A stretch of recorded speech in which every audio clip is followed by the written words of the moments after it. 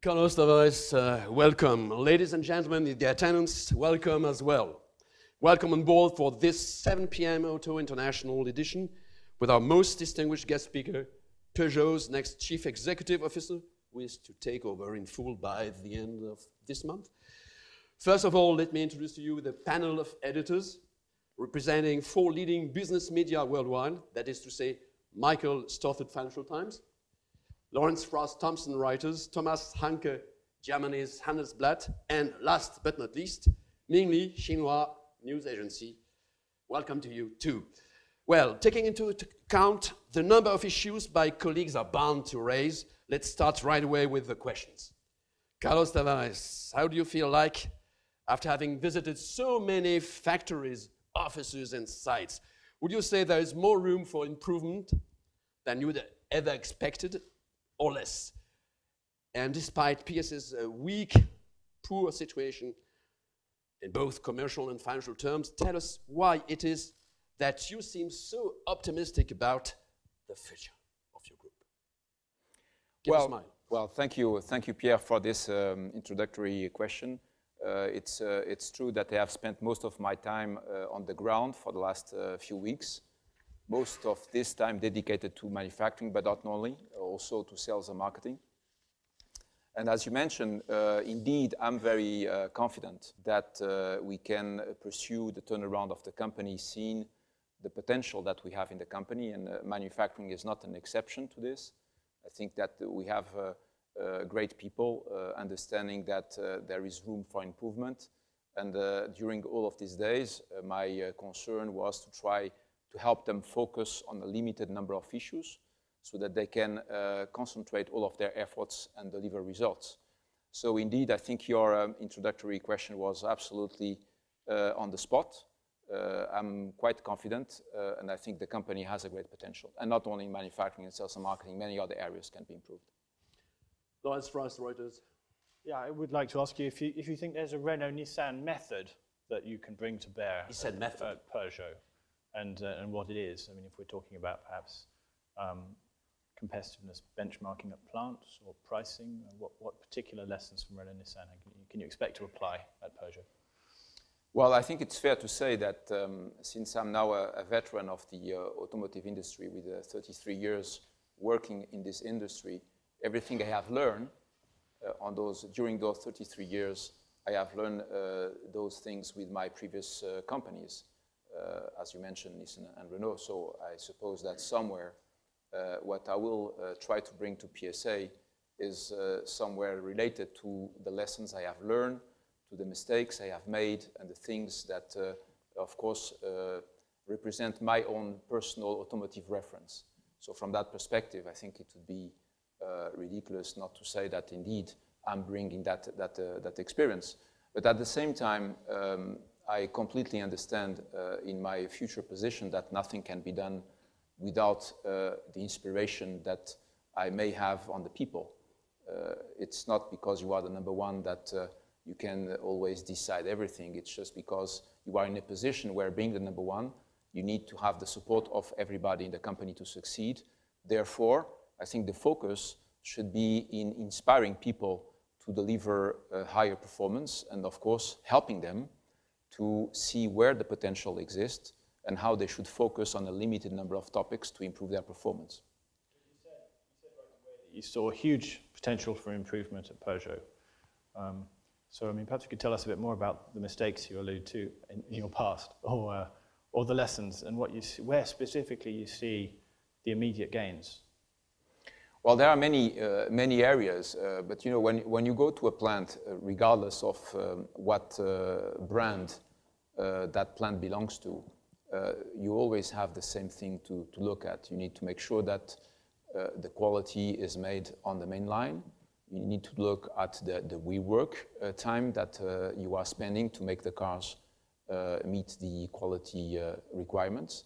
that's one area. Of course, you need to look at uh, how many uh, people you have in your structure, in the management team to deliver the results. You need to look at how are you managing your suppliers in terms of having a wider scope uh, in evaluating the performance. As you know, 75% of the uh, overall manufacturing cost of the car comes from the parts we buy from suppliers. So you need to have a very enlarged view of uh, with whom are you working, who is facing problems uh, within your supplier bases, and how can you help them uh, from the plant perspective? How do you go upstream, and how you help them to deliver better quality, lower costs, and, and absolute perfect timing. So all of these things are checklists uh, that you, you need to go through with your management team. And of course, um, in some areas you have breakthroughs that you can see. In other areas you have uh, uh, Kaizen, progressive improvements that you can see. And uh, one factor also which is very important is the lead time. The lead time that you have in a plant, which represents uh, your ability to go through the different steps without bumps, without stop and goes, and all of those stop and goes, as you may imagine, represent uh, penalties in your uh, financial performance for the site. So it's, it's not uh, rocket science. It's just basic things that you need to check with the management team. And because I have uh, the fortune of having some references in my mind, I can quite quickly identify where are uh, the areas where there is uh, things that we should be doing faster because the gap against some of our competitors may be big. Also, you're expecting quite a lot from uh, your low-cost factories and high-cost factories as well. You have well, tremendous potential there. Sure, there, there is potential, and uh, there is also the understanding that um, uh, if you look at the different regions in the world, uh, you will notice that approximately 75% to 80, 80% of the cars that are sold in a given region are manufactured in that specific region, uh, which means that if you are selling cars in Europe, most probably 80% of the cars that you sell in Europe are made in Europe. And based on that knowledge, uh, the consequence is that the competitiveness of your plants is mostly restricted to the region where you are producing those cars and selling those cars, which means that uh, in our case, uh, given the fact we have many plants in Europe, uh, we need to be competitive against the other European countries. And also, as Pierre mentioned, we also have uh, uh, plants in, uh, in eastern part of Europe and the southern part of Europe with very competitive costs. Mainly Chinois. Yeah. Uh, a question about Dongfeng? Yeah, surely. yeah. You said you looking you are looking forward to Chinese market, and so my question is, how do you profit from the Chinese market, and how do you make you more competitive in this market? Thank you. Well, uh, indeed, uh, the profits uh, we have from the Chinese market are good. Uh, but as you know, in our industry, nothing is uh, always good enough. But they are good. That's, that's clear. Uh, there is, as we have said, enormous room for improvement. and the room for improvement comes from the growth, from the profitable growth. As we have a profitable situation today, each time we grow volumes and market share, of course, it increases the amount of profit that we bring back to the company. And uh, that's why for China, the focus will be on growth. And for China, the focus will be in working very hard with our partner Dongfeng to improve uh, the way we are leveraging the local supplier base, make sure that we fully use the competitiveness of the Chinese supplier base, and also making sure that we work together in our common R&D uh, organization to make sure that everything we create from China for the Chinese market will be highly competitive. From there, as you know, our ambition is that we would achieve 1.5 million car sales by 2020, which is, as 1. you know, 1.5 million cars, which is a, a, big challenge. Let's recognize that as we have uh, uh, sold a little bit more than the 550,000, 557,000 cars in 2013. So moving from uh, a little bit more than half a million to uh, 1.5 million uh, until 2020, 2020 is, a, is, a, big challenge. So we'll focus on the profitable growth. And of course, we'll use uh, everything we can for that, uh, including the uh, quality of our partnership uh, with uh, Dongfeng. What are you expecting from Dongfeng, actually? Well, the, the number one expectation is that Dongfeng helps Not just money. No, sure. Is that they help us understand the Chinese market. You know, the Chinese market is now possibly the most competitive market in the world, which means that understanding the customer expectations in China is now paramount to succeed in sales. Uh, so from Dongfeng, uh, one of the uh, many things that we expect from our partner is that they help us to understand the customer expectations in China. And of course, another big expectation is that uh, we fully leverage uh, the local Chinese supplier base and that we work in a way that generates uh, spec specifications that can be uh, easily implemented uh, in that country. Lawrence Frost. Which aspects of those, which aspects of that plan are beyond the reach of other Dongfeng partners, more casual joint venture partners? Because you, you said last month that you wanted to leverage the privileged partnership with Dongfeng. So I'm wondering what additional benefits your closer relationship brings that other joint venture partners don't have. Well, it's a, it's a great question. Uh, I expect that you would ask that question to, to Dongfeng, but... But you do know them uh, quite well. Yeah, I know you? them quite well indeed, because yes. this is the third time in my, in my life that I'm working with them. And, uh, and it's, by the way, a big pleasure because I know them and they know me. So hopefully we will continue to work in a very open mindset, transparent and, and very, uh, very focused. Uh, I think the, it's a fact that if Dongfeng has um, a share in our, in our company, uh, I think they will be very interested uh, in making sure that uh, this share is part of a company that is creating value. That's why I was saying the other day that I expect this presence of Dongfeng in our capital to be some, some kind of a preferred position of PSA vis-à-vis -vis the, the, other, the other partners. But I think the, to answer precisely your question, uh, I think we should talk about the, the depth of a collaboration, depth in uh, the engineering collaboration, depth in the purchasing collaboration, depth in the manufacturing collaboration, and depth in the customer understanding collaboration of the market. So the, the deeper we are in China and the, the, the better we understand what the customers expect, uh, the more efficient we will be. And of course, uh, the, our partner should be the one that helps us go as deep as we should go and, uh, and uh, as uh, precise as we should be. Does that, mean, does that mean sharing more technology than an ordinary joint venture partner might? Why not? so? Why not, of course, of course. Because you've already talked about hybrid air with them, I think, haven't you? Is there, are there any other good examples of... Uh... Well, this is, this is one of the examples, but certainly uh, everything which is related to emissions, I think, is, uh, is a very strong common interest between, uh, between uh, our two uh, partners for a very simple reason is that, um, as you know, Europe has been one of the most demanding regions in the world in terms of reducing the CO2 emissions. Uh, it is quite clear that this is now a strong uh, trend, uh, if not an already existing request from the Chinese market. So we can help our partner and help ourselves at the same time because uh, localizing the technology is also a matter of uh, cost competitiveness. Therefore, this is an open avenue for, for our partnership. Does that mean you may sort of uh, reverse or inflect Peugeot's long-standing skepticism about pure electric cars? Well, you know, it's, it's a matter of being on the right timing, mostly. Uh, reducing the emissions, I think, is, is, is a trend that uh, will be long-lasting for the automotive industry as we all know, um, the automotive industry's responsibility uh, vis-à-vis -vis the emission topic is to bring a solution and stop to be a problem, uh, which means that reducing the emissions needs to be a proactive uh, attitude from the uh, OEMs. And because we are in a partnership, a very deep partnership with, uh, with Dongfeng, we can see that as Europeans, we are living in a region which is very demanding on reducing the CO2 emissions, and, and China is becoming one of the most demanding regions also in the world. So uh, we have two uh, home markets who are pulling us uh, in that direction, and of course we can collaborate. Well, the question is about electric cars. Uh, any discussions about pure electrics in that case? For us, this is not uh, the current roadmap of the company, but reducing emissions is. Yeah, the PSA so, is uh, rather lagging in terms of electric cars. Do you see it as an advantage or a setback? Well, you know, so uh, I'm not going to contradict myself.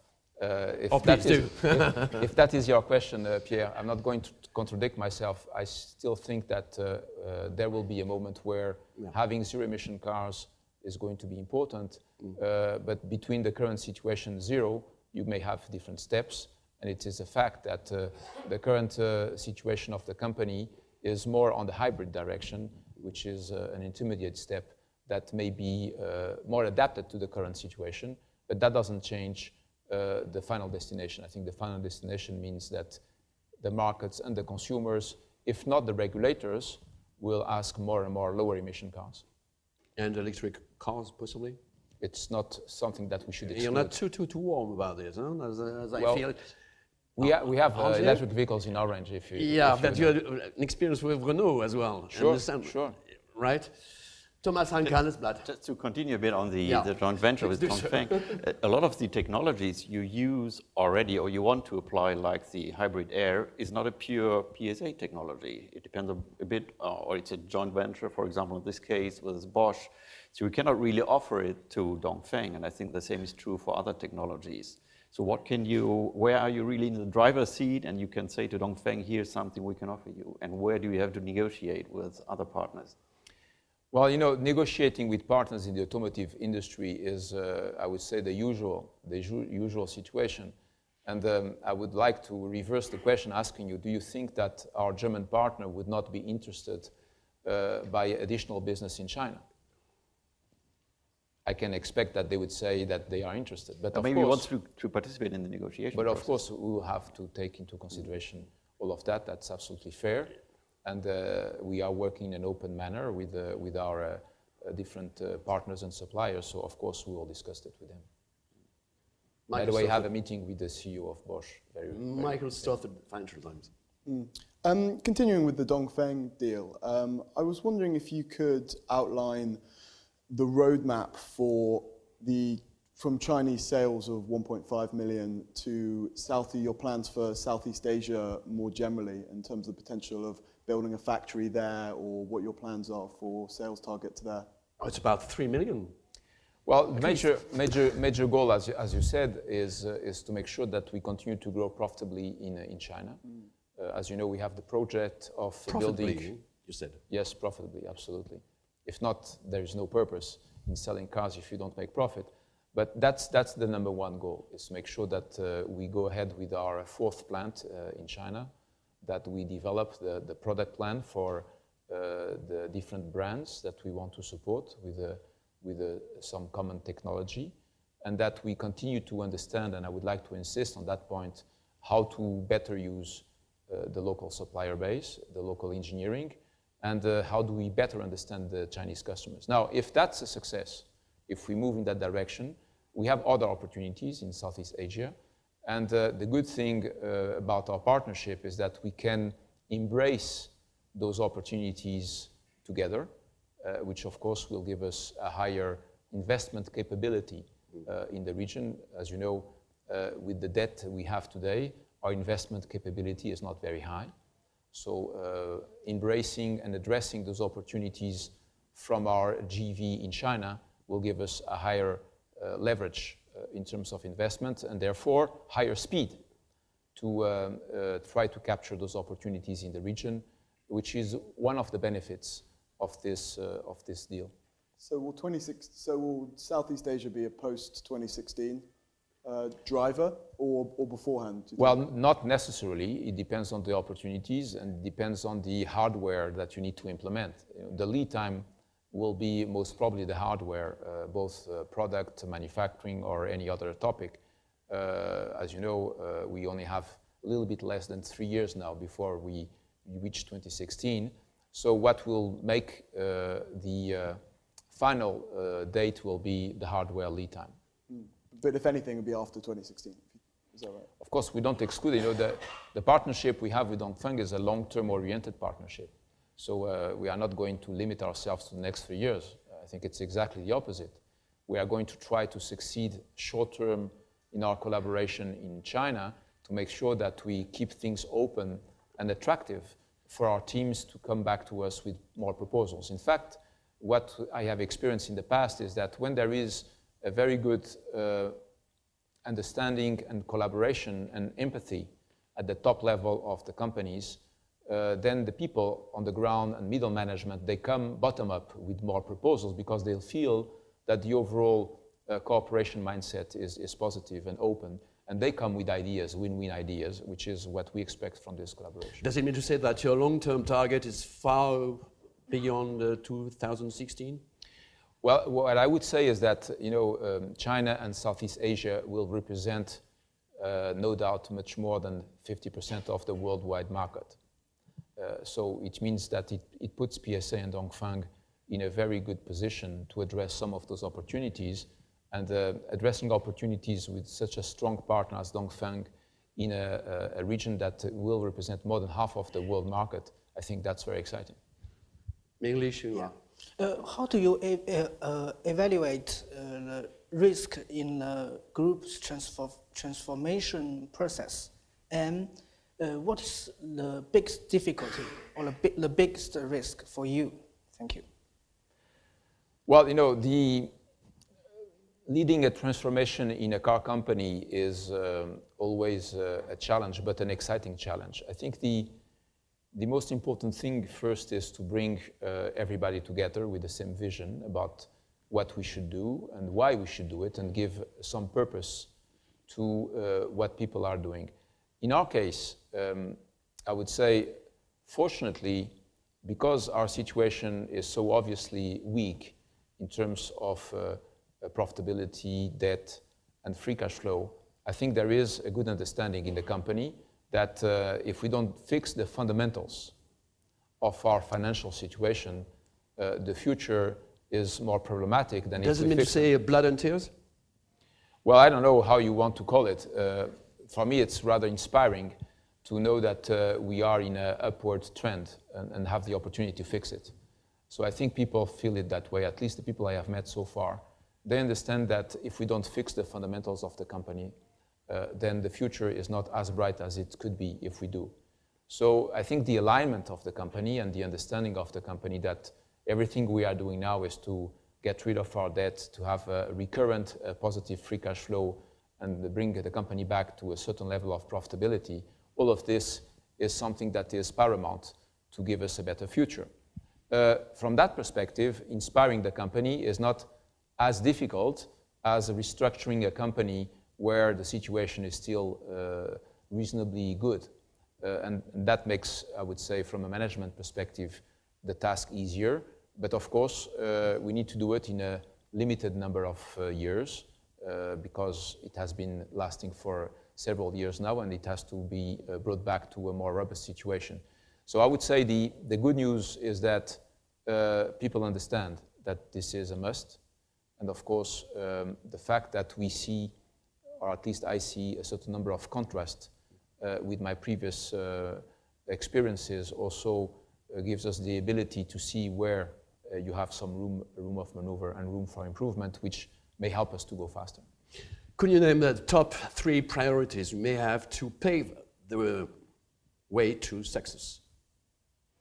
Well, I can give you a few. Just three. Sure. Uh, let me give you three. Um, the, the, first one is to make sure that we allocate resources in a meaningful way. Meaningful way. You know, I have been visiting uh, some of the countries, and uh, I have seen that um, we have many, many, many cars in some of the markets where we are losing money.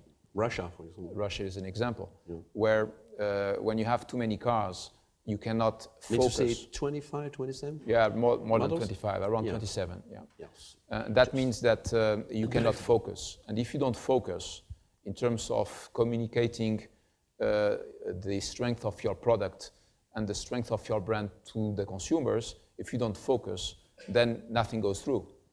And uh, the fact that you fragment your range excessively limits your marketing capability to send the right message to the consumers. So um, bringing back the company to what I would call uh, a more uh, core model strategy orientation is a matter of uh, sales efficiency. It's common sense. Looks common sense. Looks common sense. Looks common sense. Yes. It's a matter of sales efficiency, and at the same time, it's a matter of frugality in terms of allocation of resources.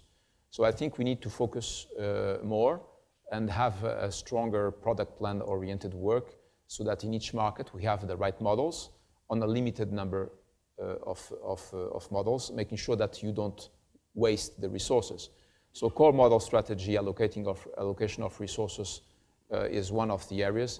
The other area is, uh, of course, making sure that uh, we have uh, enough leverage in terms of pricing power for our products. You know, we have uh, three brands, and the, the three brands have now a clear positioning. Uh, and I think some of those. You said three brands? I said three, yes. Yes. Peugeot, Peugeot, Citroën, Citroën. and a premium brand called DS. Yes.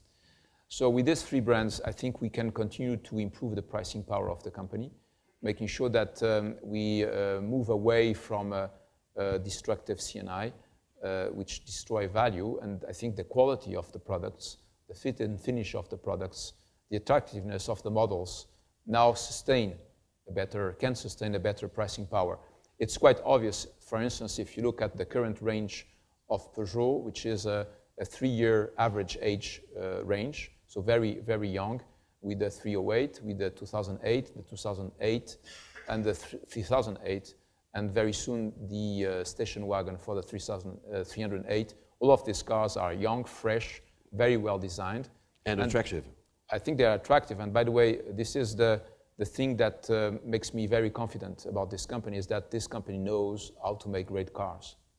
Uh, so from that perspective, And as a car guy, you uh, appreciate this. I appreciate that. And you know, I appreciate it. And as I said, on February 19th, I can still have a quite objective assessment of that. So the cars are great. Uh, so there is room for uh, leveraging more pricing power. That's the, the second topic. And of, of course, the third topic is all about reducing costs and making sure that uh, we have uh, more competitiveness in our sourcings, more competitiveness uh, in the way uh, we continue to make savings in your fixed costs, in our fixed costs. So all of this, Well, well these are ba- bad news for uh, your suppliers. why should it be bad news? I mean, reducing costs. What does Well, it mean to say? That's what they do every day, you know. Yeah, Uh, I know so, that. uh, so the point is, the point is to help them. Uh, the point is to help them. How can we work in a more uh, win-win approach, so that we can find together more ideas about cost reduction? Because if you don't have a good uh, cost-competitive sourcing, you cannot compete. So at the end of the day, you know, there is no. Um, again, it's not rocket science. You have three major things to do when you want to turn around a car maker: reduce your fixed cost, improve our pricing power, you do reduce your variable cost. And one of the things, one of the tools we have, uh, two tools I, I would mention, uh, which for me are absolutely paramount. The first one, as we said, is our uh, partnership with Dongfeng in China. That's very important to leverage the local supplier base. The other one is to work in a constructive manner and very uh, concrete manner, pragmatic manner with our uh, friends from uh, GM and Opel, specifically in Europe, where also we can bundle many things and make sure that we, we reduce our costs. You're still talking GM, General Motors? Yeah, that one. Are you kidding or what? No, we have three programs with them. Three did, programs Did you so forget far? that? Yep, we have three, uh, three, three deals. And still existing and Sure. Why, why ongoing pro- uh, programs. Absolutely. Okay, good news for them. Thomas. You- Hanke, you- You're talking in a very matter-of-factual way about three brands, but in reality, DS is not really uh, established already as a brand. See how bad is And it is, Looking a bit to your German competitors, it took about 20 or even more years for Audi to become a, an established brand. How long will it take DS? Well, I appreciate that you asked the question. Uh, first, it's true that Audi took 30 years, 30, no less. Uh, and they are a, a, a very uh, successful uh, premium brand. So for us, it's an inspiring success.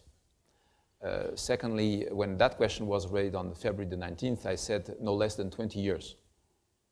So you are right to say that we are working on a 20-year perspective, and uh, we will have to uh, be very consistent, very persistent, keep the direction for a long time. Uh, but at the same time, I would also recommend you to visit our DS uh, dealerships in China, where already DS exists as a unique premium brand. There is no Citroën on the cars, just have the DS. And it's uh, somewhere uh, the demonstration of the way we would like to bring that brand up. It will be progressive, it will be step by step, it will be product driven, uh, and you can expect that you will see in other markets in the world the same kind of approach. There's a big difference between China and in, uh, Europe as far as the sure, is concerned. sure, there is history. Yes, history. Yeah. And uh, you see uh, things going on uh, like what? Europe uh, take advantage of it or not? Well, it, it will That's depend. question, huh? it, it will depend on the, on our partners uh, and, uh, and our partners, our dealerships in, uh, in Europe. It is quite obvious. If you go today to a Citroën dealership, you will see that you already have the beginning of uh, a DS corner. Uh, there is the opportunity for most of them if they have a very good performance in uh, customer service. There is the opportunity. There will be the opportunity to have a, a more visible corner that will move in the direction of uh, putting the uh, premium cars in a specific area in the showroom. And at one point in time, perhaps one day, you have a dedicated showroom. Are you mean to say uh, doing it uh, the dash way? No, I'm not saying that. I'm, I'm saying doing it. Uh, may I use the Slowly Lexus but way? very efficiently. May I use the Lexus way? Lexus way. Okay. yes. May I use the Audi way because I think Audi started with Yeah, this. but you should add at least uh, three chevrons to make uh, things. Uh, That's fair. the starting point. That's Yeah. the starting point. Microsoft. Um, two things, just, just to pick up on the point you made earlier about suppliers. Um, I understand one of your successes at uh, Renault was to uh, was just squeezing the suppliers, was delaying the payment times and sort of getting every penny out of them.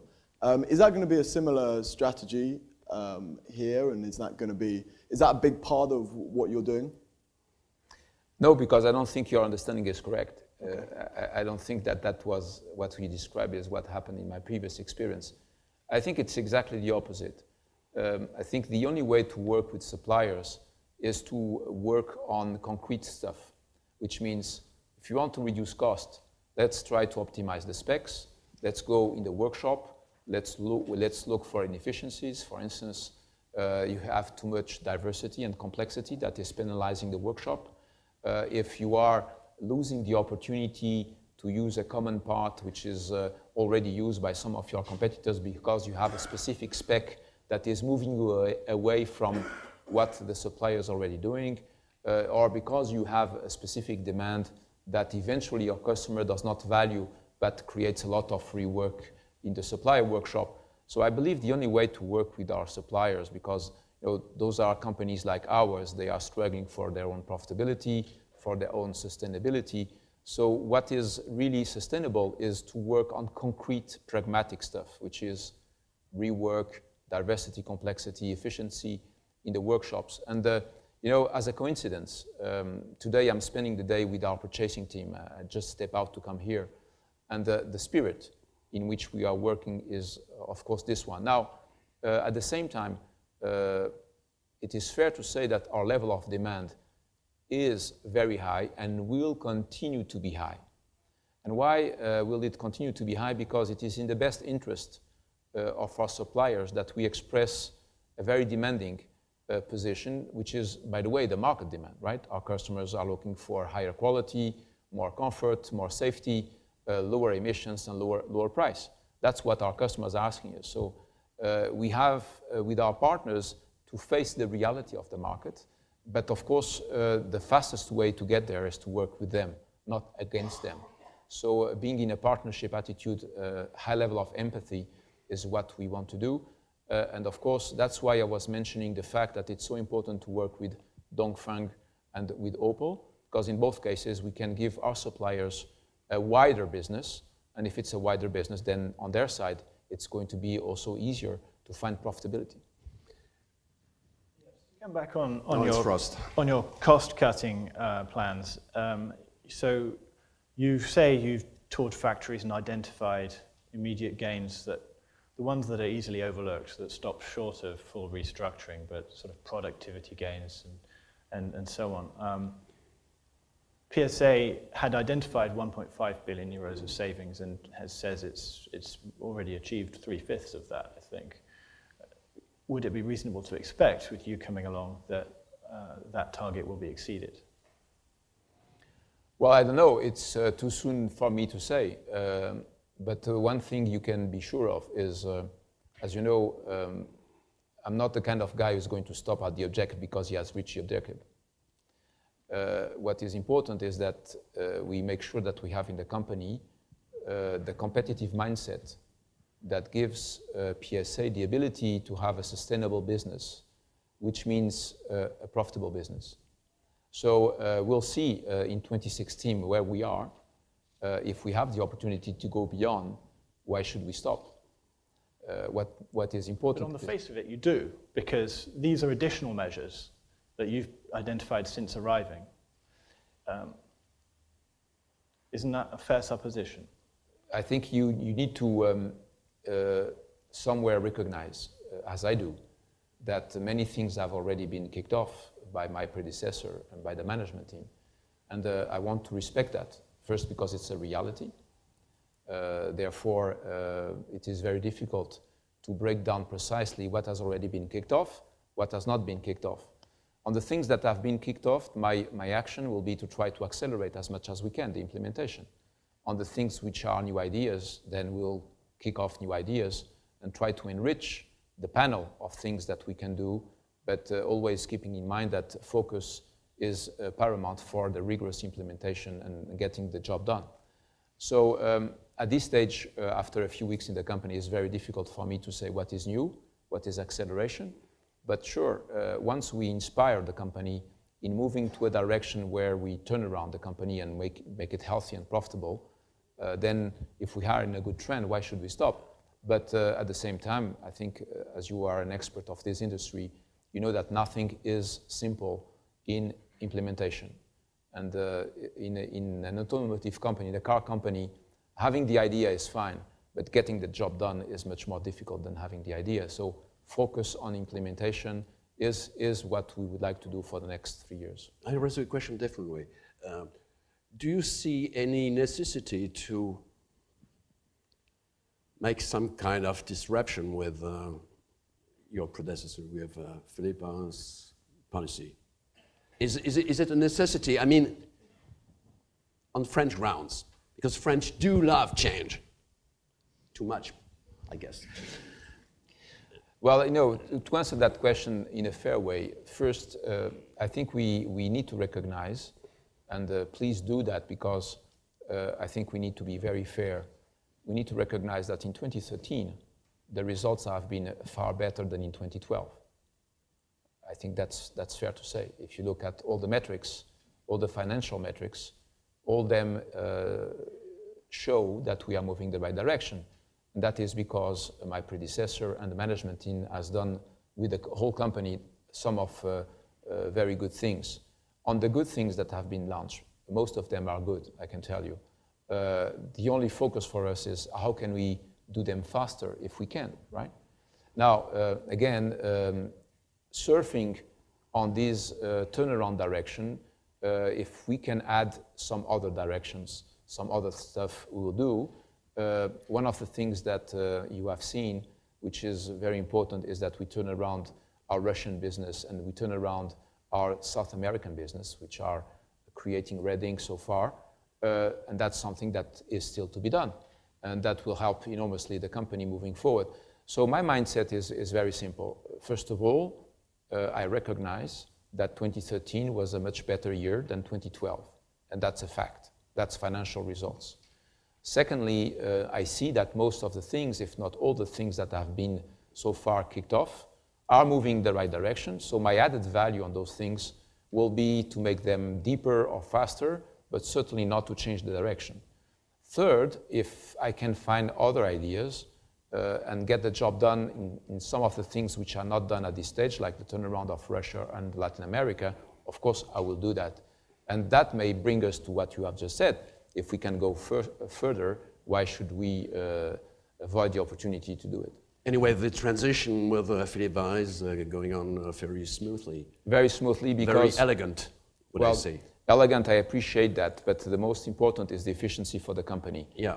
Elegant, yes, uh, the relationship between Philippe and myself. Oh, well, I was mentioning uh, the Calvet uh, false history. Okay. Yeah. Oh, well, I was too young yeah, at that it's quite different. Okay. I don't remember that, that period. But I want, to, I want to confirm that things with uh, Philippe are, are, moving very well, uh, mm. very smooth, very respectful. Uh, and I can tell you that the only focus we have, both of us, and this is uh, the only thing that counts for the us, is make sure that the company is uh, moving forward and that we have a rolling start, not a standstill start. Really? Chinois. You talked about uh, DS series. Um, I mean, as I know, you developed this uh, this series with another partner, uh, Chang'an uh, Automobile, and uh, how is the partnership with this this uh, Chinese company? And will the Dongfeng will involved in another uh, program to bring up the, the brand in China in Chinese market? Well, as you know, um, in other words, will you leave, force them to leave uh, their Renault partnership? Right? No, not quite. Chang'an or Dongfeng? No, I, I, think I understood the question. Uh, as, as, you know, um, we have two different uh, joint ventures, uh, DPCA and, and CAPSA. Uh, th those are separate joint ventures with two different partners. By the way, I don't think we are the only ones in China to have two different uh, JVs, as you know well, because you know it better than I do.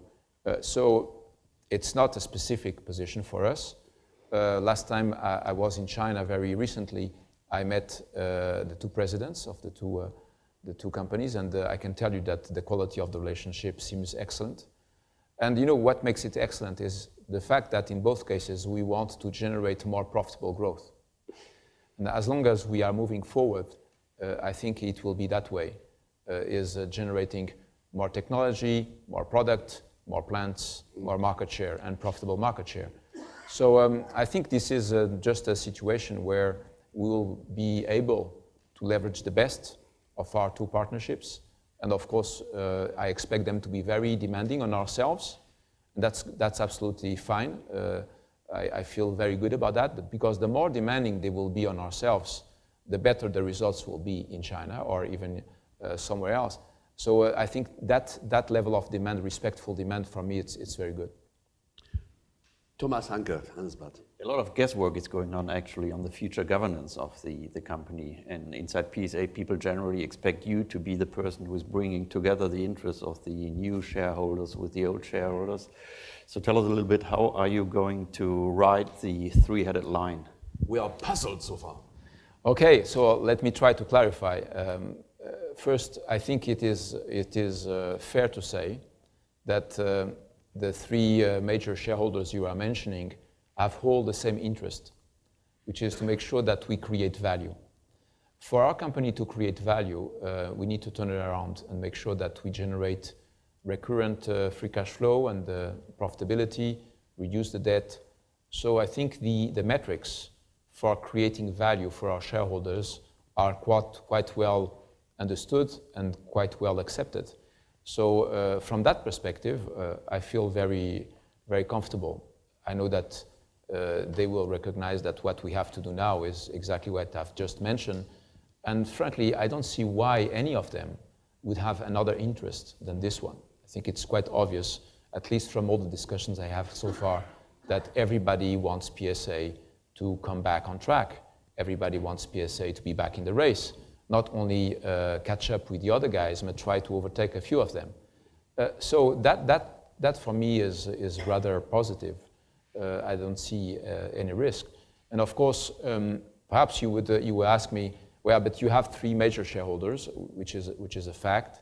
Uh, at the same time, if you look at the, the way the supervisory board is going to be, to be made, I think the diversity, the diversity of the supervisory board can lead to uh, better uh, decisions, as it is the case for any managing board of any car company. Generally speaking, when you look at the managing board of a car company, and if you look at the diversity, what would you say? Probably the same thing as me. You would say the more diverse the managing board is, or the, the, the executive committee is, the better chance you have to make great decisions because you have different perspectives, good debate. Uh, all right, but it is the first time, the very first time that uh, the Peugeot family is no more in control. That makes a difference, doesn't it? Well, it doesn't make the difference on the fact that the Peugeot family is sincerely and eagerly looking for the turnaround of the company. Uh, so I, I don't think this is going to make any, any problem because they want the company to be turned around.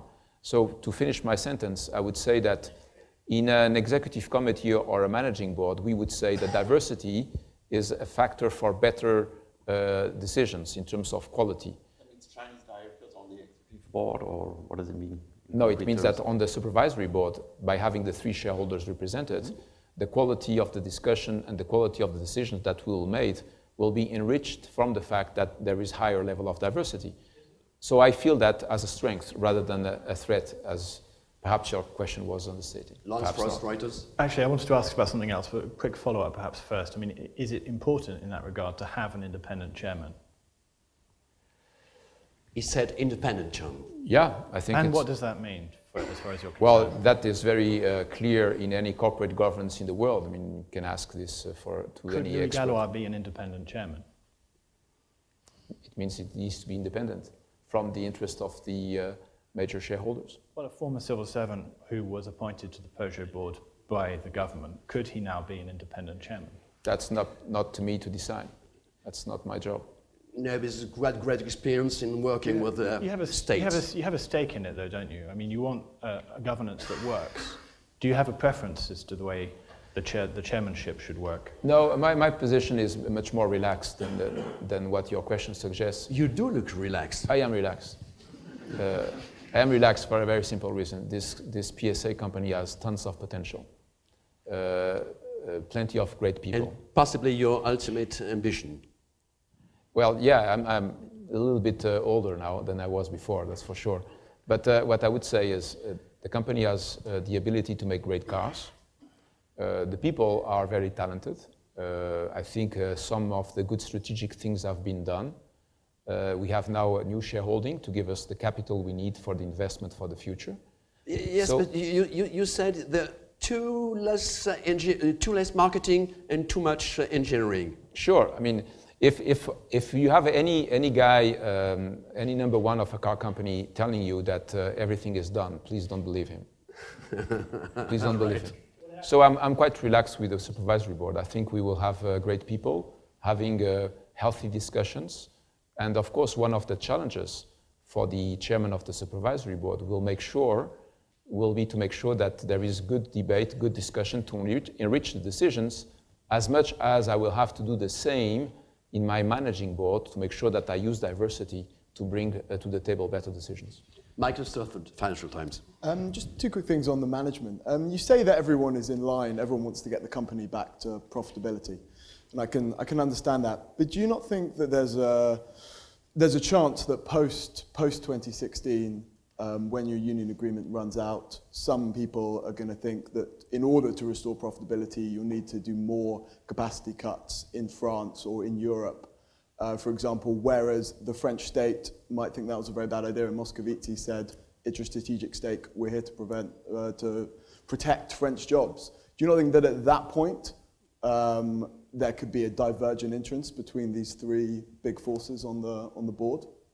And the answer is Renault and, and, and, there's a second question, which is to what extent you've been um, you've been sort of given any guarantees of autonomy and guarantees of that the, these three forces won't basically meddle meddle with what you want to do.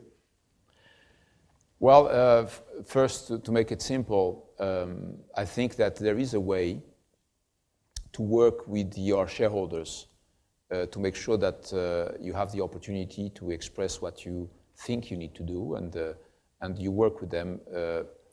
Uh, when I was working in my previous company, uh, I had the opportunity to work with the French state, and, and I learned from that. And I learned how, what's the process by which you can discuss things and, and, and get agreement on things. So um, this is something uh, possibly that I can bring to PSA is uh, how do you work with the French state uh, on the issues that you have mentioned. this being said, um, again, uh, I don't think that in three year, in a three-year period, uh, value creation will no longer be the point of focus. Uh, because in, in three year, if the turnaround is a success, what we will be discussing about?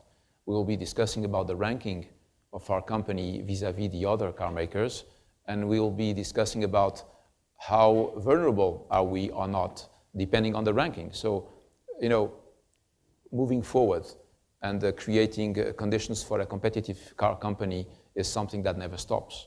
So we'll continue to work.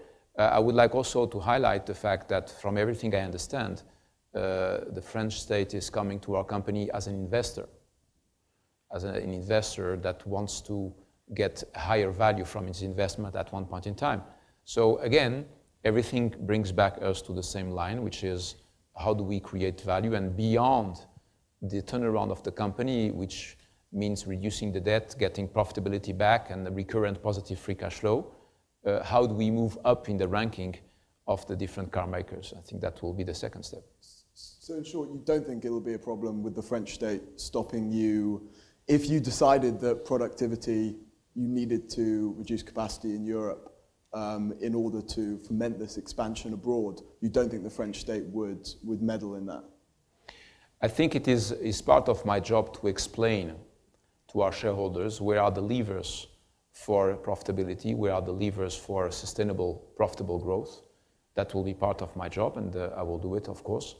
Uh, and then we'll see. But everything that we have seen so far from the presence of the French state uh, in our competitors' board seems to indicate concretely that things can be done. Because if you look at our competitor, they are making money and they, they have the state as one of their shareholders. Since, since we talked about the elegance of the, the elegance of the Carlos Philippe relationship, perhaps we could talk about the Carlos Carlos relationship. Um, I was wondering in particular what the, how this might affect the potential for cooperation between Renault and Peugeot, which has been pretty limited historically. But I mean, first, to understand that, maybe we need to understand a bit, a little better what happened last year around your exit from, from Renault. Uh, and the question uh, it really is, um, if it hadn't been for that interview to Bloomberg, um, would you be here today? Would you have found your way to Peugeot, or would they have found their way to you? Or would you still be at Renault?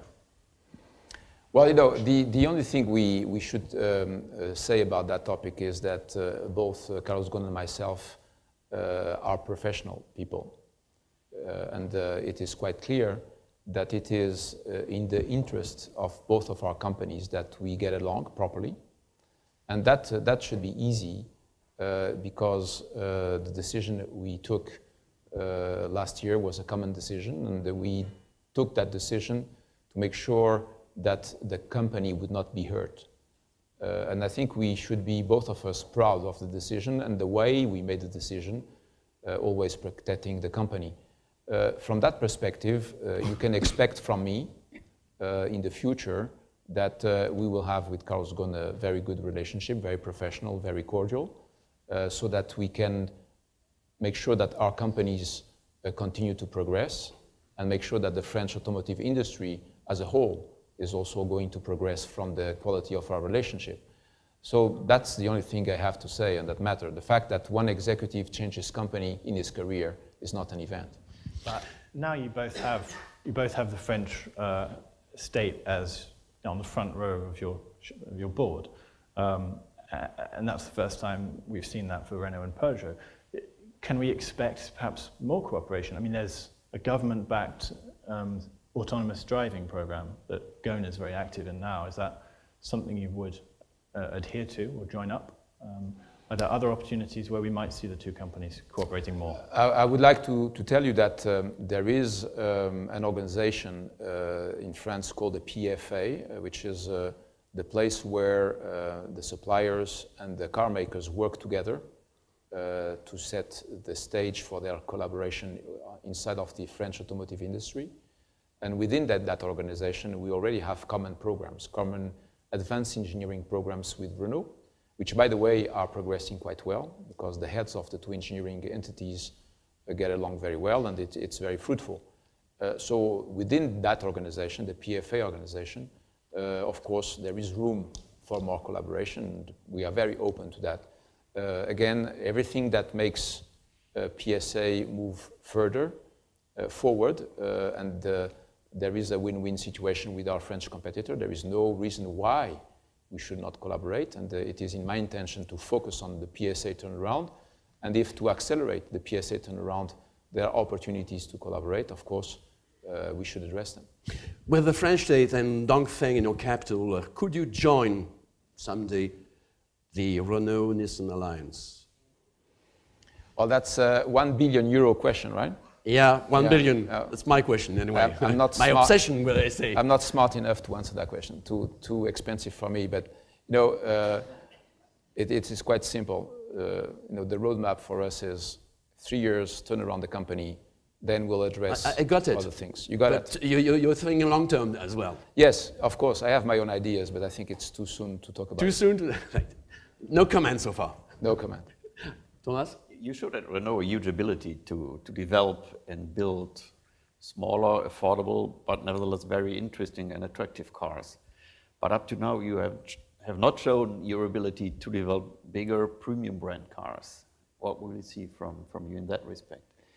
I think it's a fair, it's a fair statement. Um, I could oppose by saying that uh, uh, with my friends from Nissan, in a five-year period, uh, we launched 50 cars in five years, and 50, 50 with, uh, with my friends from engineering and design and product planning uh, when I was working in Japan.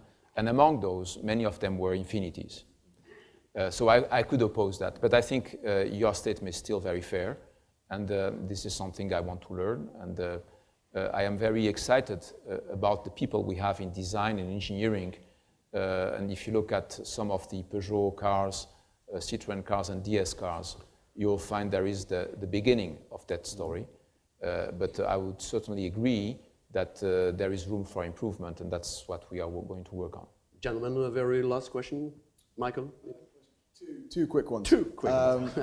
two, two, two quick ones. Um, one just about uh, Latin America and Russia and turning around profitability there. Are there one or two details you could give us about um, sort of key areas that need to be turned around or key just key little little targets you have? Um, and also one again sort of related. Um, one of the problems obviously everyone talks about with Peugeot is being sort of subscale essentially. You know, not not producing enough cars. Um, when when, where, where in the rankings of the, of the sort of top 10, I believe you're sort of number nine, I believe, um, where in the rankings do you feel you should be by 2016? Or where do you feel you need to be um, to be a profitable car company? You know, um, let me answer the second question first. Um, size is not um, a relevant goal. Size is the consequence of a well done job. So uh, at this stage, um, I don't think that we should be contemplating an objective in size, meaning on size of sales, because you know we are, a, to make it short, a three million car company, um, but we can be a three million car company which could be, in your assessment, better than a 2.5 billion, million car company. But if we are creating red ink, what's the purpose, right? So uh, the size by itself is not the relevant, uh, the relevant uh, metric. I think first you need to make sure that you create. It doesn't sound very French. Well, we, we tend to be a global car maker. At least we try to be a global car maker. Good. We still have some room for improvement. Good but to, fin to, finish with my, my answer, uh, first make sure that you focus on reducing the debt, increasing your free cash flow, getting profit. And That's from there, money, money, and money. Yes, why not selling Faurecia, for example? Because that's not, that's not mine, that's cash. It's not profitability. You know, there is a big difference by, between putting uh, cash in the bank and generating profit. It's, it's uh, not the same, exactly the same thing.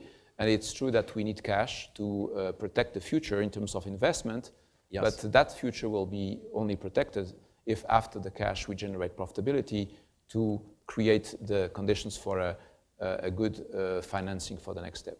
So the first question was about, about Russia. So answer to your second question, size is not the metric for at this stage. Yeah. At this stage, bring back the company to a healthy situation. To the first question, I will give you two examples. Uh, the first example is that we are generating red ink in Russia, and we have 27 models on sales, which means the number of cars is not, is not the problem. Uh, so the size of the range is not the right metric for generating profitability in a given market. Rather, the core models that you need to have in that market are the key question. Second example, uh, we have two C sedan uh, models uh, that we uh, make locally in our, in our plant in Kaluga. It happens that we have two C sedans, C segment sedans for the two brands. And one could question why do you have two cars in the same segment uh, for the two brands of your same company, which of course is, is one way to see it.